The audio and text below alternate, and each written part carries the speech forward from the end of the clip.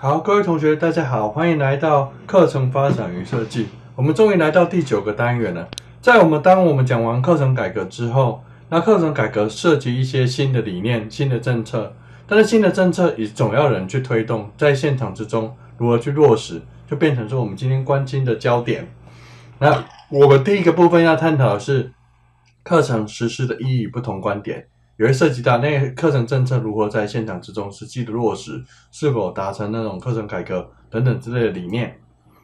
那我们开始要第一个讲到说，施良邦老师讲到课程改革跟课程实施有密切的关系，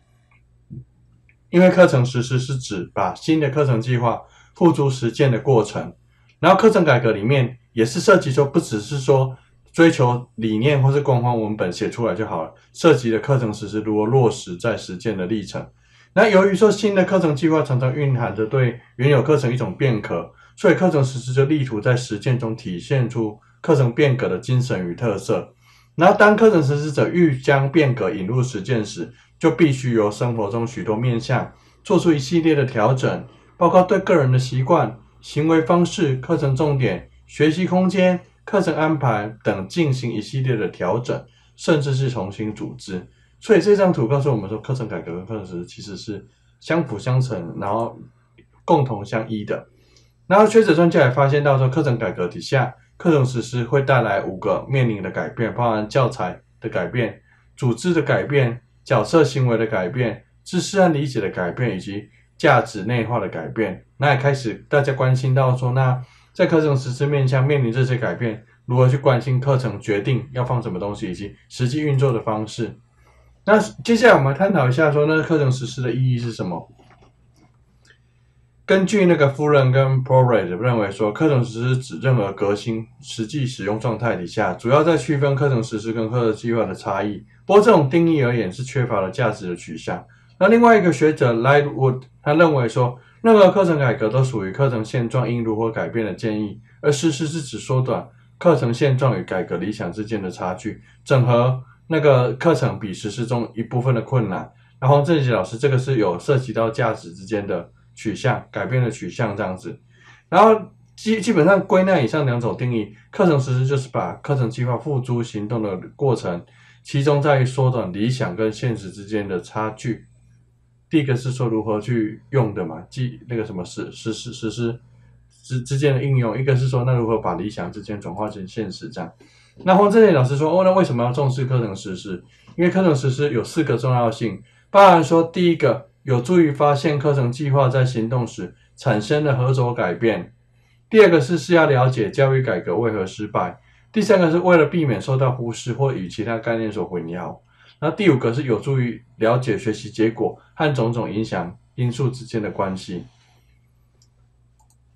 好，那我们看一下课程层面，那个黄正杰老师分析的一些理念啊、意向、焦点啊，涉及评估工具，然后制定课程目标，然后考量学生学习新点，换成教学目标，然后涉及到教材、学习经验策略、内容时间的那种运作考量，然后设计评估程序工具，然后这是考量学习结果。课程各个层面包含这些，那我们课程改革、课程实施也是涉及到这些层面的那种考量。那基本上课程实施，也就是把黄光雄跟蔡欣林老师是认为说，课程实施是把书面课程转化成教师情境中的教学实际作为的教育实践行动，跟前面也是一样，都是教育实践行动。更进一步的课程实施，不只是把事先经过规划的课程付诸实施传递行动，也是协商跟交涉教教育信念的转型的行动与实践结果。这上面理念跟实施者的看法之间，也许会有点差异，还有学生之间。的反应也有一些不同。那如果根据那个理念者，然后政策，然后教师，然后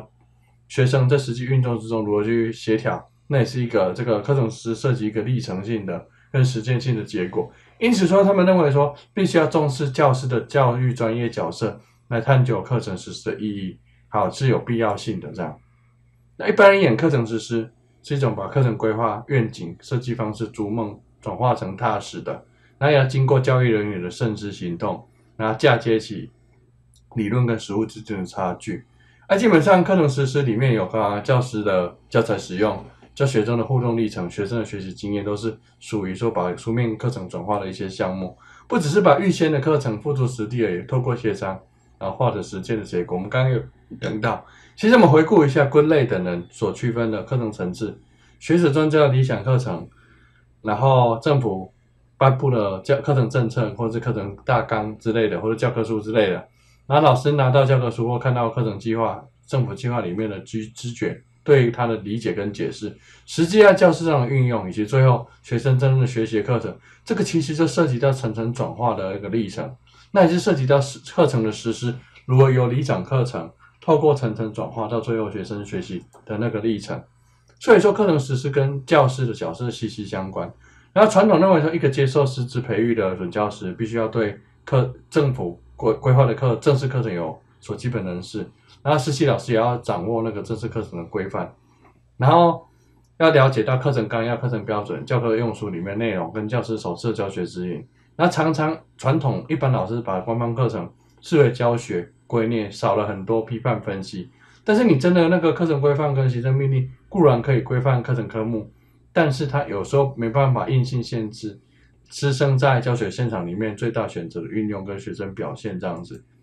所以开始一些人开始关系到说，那老师在不同的情境底下运用课程的时候，是应该顺从说课程教科书怎么讲就怎么教，忠实的实践者，还是说根据情境去调整，变成说不忠实的使使用者？那有没有一种情景说，哎，上面想要改变，然后政策想要改变，然后这棵书有些内容，一些不忠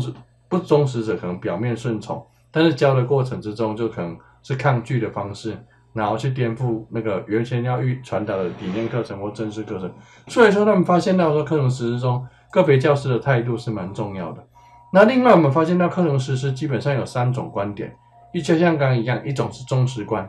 是标准生产在制的，像是美国布希国定课程学教育目标里面强调老师你就是忠实的去实施我们国定课程的内容。第二个是相互调试观，强调在课程实施的过程之中，像是美国克林顿的国定标准表现标准，是比较强调历程之中的那种表现，可以去互相调试。老师在实施过程之中发现有不对的地方，可以跟课程设计者去协商，然后持依据情境的需求去做修正。最后一种是落实观，强调知识是多元建构的，考量到说，哎，课程不只是说老师传递给学生而已，还涉及到，哎，可能是师生之间共同。建构出来的课程实践内容，而且会涉及到学校整个革新文化、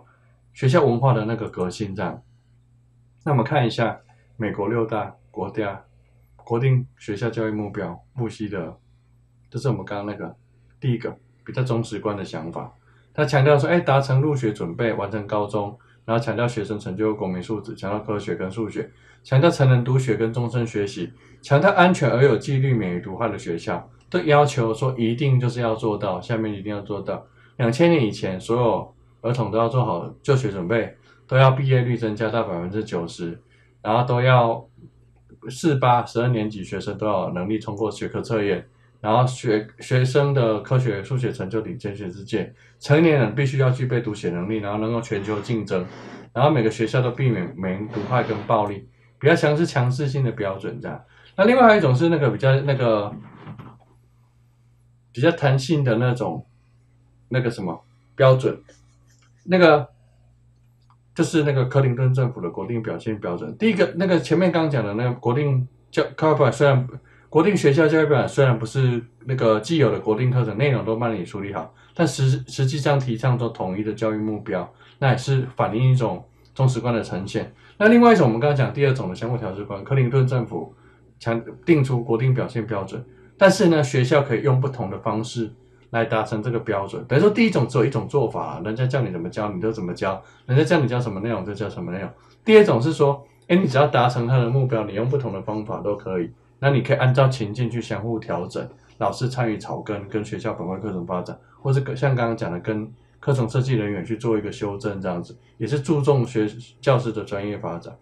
基本上，欧文森老师认为说，忠实观就像一棵课课程属于大树。由树根长到树枝、树干、树叶，这个由根到到那个叶子那边去啊，一层层逐步前进的，由底部到前到全部成长的，是一种线性的模式啊。然后强调结果、开花结果那种结果的评量，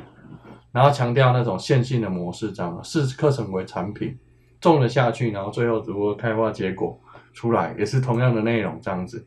基本上中实观课程实施的相关人员相信课程设计的优先性与重要性，而且事先经过规划的课程还是有示范作用，会被老师必须，而且必须被老师毫无疑问的接受。他们认为说，如果老师的课程实施选择不多，而且实施的方式越明确，则课程越忠实。那基本上这种观点把老师视为课程设计的消极接受者，那认为老师必须要彻底训练、忠实的进行课程实施。那有个词叫 teacher prove，教师防范课程也是这种观点的，类似这种观点的。教师你不要自作主张、画蛇添足，在既有的教材跟教师手册里面增加很多内容，你乖乖的教就好了。那这种观点里面，行政有绝对的权利，就课程体制而已，层层的去监督这样子。那这种跟国家真正本位发展的进入有关，然后也是一种强调技术的观点。但是呢，一些学者开始反反对啊，那课程实施也要经过到教师自主权，老师不只是教书的工具或是代言人，你必须要强调创造的，因为他是教育现场第一线的人员，所以这产生课相互调试观。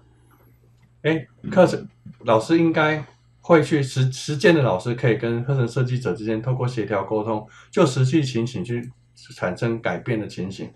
然后历程，它是一种历程观点，它重视课程实施的另类变通途径，那要叫调试观或相互调试观。那这个跟 House 所提出来的课程核心政治观点蛮相像，强调教师教学本位的进展。那例如 Berman 跟 McLaughlin，他认为说，实际上所经过预先规划的课程，在实习过程中，比较因应情境的不同去修正，才能够在特定及快速变迁的教室教学环境中。让老师能够使学生的学习获得最大的效能。然后经过富人跟 Pullman 的研究，难得研究，他们结论也认为说，事先规划的课，因此事先规划不能太过严苛，或是规定太细，而允许课程设计者因应不同情境有调试改变的空间。这样，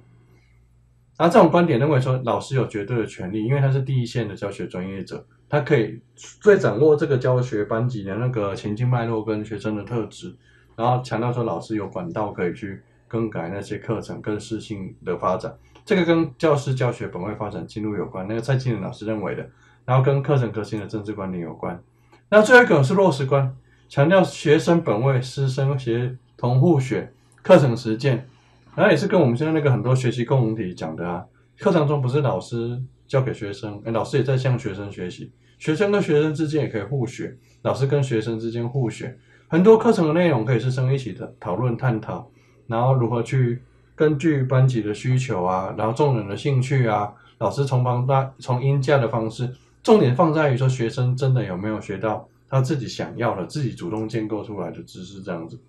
基本上落实观的课程实施在有在中实观与相互调试观里面，他们强调重视行动落实观，重视实践的教师在教学情境之中实际课程行动实践。然后强调师生共同创造经验，主张主张教师要扮演课程发展者的角色。那那个蔡健老师认为说，这个跟文化观点蛮相信的，也是跟行动研究本位的课程发展是比较有关的。这样子，在实际中去不只是重视老师的教学改变而已，教老师的那种专业可以因实地实物去跟课程设计人员协商，而是真的跟师生一起去共构这个课程。这样，基本上落实观的课程实实施。马许跟威利斯认为说，他会认为说，一个事先规划的课程就像一个剧本，但是在做更重要的是在剧本之中，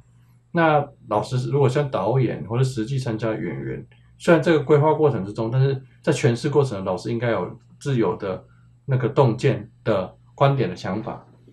那重要的是政府全职单位、课程研究发展人教育人员、教师等等，这些人都应该重视配套措施，采取具体的落实行动，迈向行动。实践的课程实质才能够去革新，哦，所以就像这个剧本一样啊，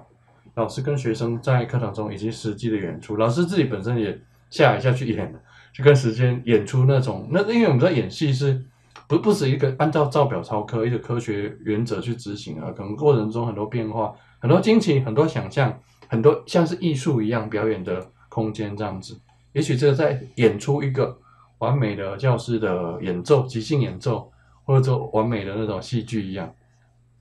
另外，就学者谈到说，课程实施必须要考量到配套措施。课程实施的配套措施，也许如果不是教师团体，就要透过个人，透过行动落实观的实施去探究，行动研究的方式去进行，然后会考考量到教师层次的教课程发展跟专业主义的课程意识形态，重视教课程及研究假设，然后也是这几点老师讲，又是跟文化观点相似的。那这些落实观的课程实施是衍生出这两个忠实观跟相互调和调试观的改进跟演化。然后他认为说，哎，这些策行动策略可能会被地区政府所使用，但是也会因情进去相互调试改变。那另外采采取关注本位的模式，强调老师关注实际的去参与，这样子啊，那又被政府采用，也跟落实观之间跟重视观之间有密切相关。那简简单来说，落实观里面就是承上启启下，然后或是说老师跟学生之间彼此之间产生关联这样子。然后接下来我们补充一下行动研究，那最后一个落实观强调行动之中去实践，行以求知啊，行动之间师生共演出课程的旋律，源自于美国，库勒在一九四九年创造，然后主要是在采用改善美国印第安原住民跟非原住民之间的关系。一九四八年的 Win 也是采用这个来训练社区的工作者，以科学方式研究自己的社区问题，自己想出策略去改善。一九七零年代，Stenhouse 跟那个 Elite。他们所推动我们刚刚讲那个一次减强那个嘛 HC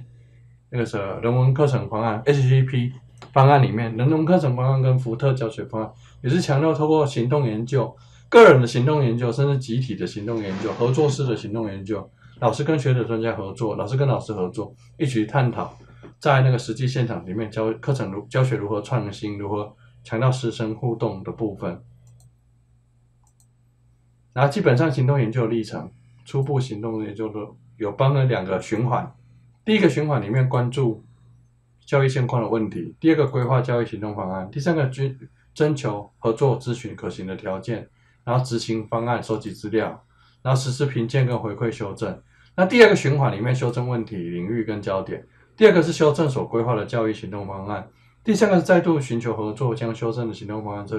落落诶逐步付诸实行，并收集适当的资料。第四个是再度评鉴，基本上那个循环不见得是两个啦，那个是我们课本里面讲到的，那个学者专家讲的，其实是不断的循环啦。每次有一些想法，然后有一些发现，那实际执行的时候遇到不行，然后回过头来修正，然后修正再修正。严格来讲的话，比较宽广来讲，因为行动研究是一个永不持续的啦。我们在行动落实的教学之中，那持续的去改善教学问题。也许这一届、下一届、下一届的班级。我们持续的是因应不同的学生背景啊、学生需求啊、学生特质啊、班级风气啊，或者说不同的实施议题啊，不逐步做出改变这样子。那在改变之中求求善这样子，如何改善这样子，更让自己好还要更好。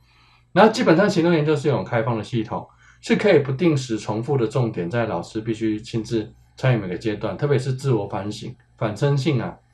不只是研究你。学生的表现，而且你自己也是被你自己研究的对象，反身性，你自己被包含在内。我研究我跟学生之间的互动，自我反省，检讨自己所规划的教育行动计划及课程改善。那基本比较亲近相互调试观，甚至是落实观，比较不像是重视观的课程实施这样子。其实这样子是有助于说采取积极的立场，然后展现教师的专业，克服社会不公平跟不当的歧视。好，那我们就这个部分上到这里，然后感谢徐代伟同学、刘慧君同学的那个美化美编，郭廷军同学的标题校正，然后陈鹏宇同学、陈鹏慧同学的资料收集跟整理。大家没问题了呢？没有的话，那我们这个部分就上到这里，谢谢大家，待会见。